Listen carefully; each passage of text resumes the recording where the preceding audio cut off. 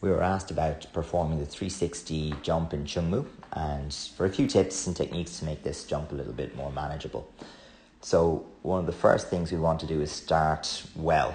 So, garbage in, garbage out. If you start badly, the rest of the jump will uh, proceed badly. So, the first thing we're going to do is relax uh, the legs and arms together. So, we can see here the arms relax. We're creating the jump by driving through the legs and bringing the arms over the shoulder, the rear shoulder, to create the rotation. All the way through the jump, uh, we should be seeing the head over the center of the body. Uh, if that changes and the head is forwards or back, you're going to spin off center. As the landing happens, we should again see the head directly over the, the center of the stance. Uh, before then shifting back into the L stance.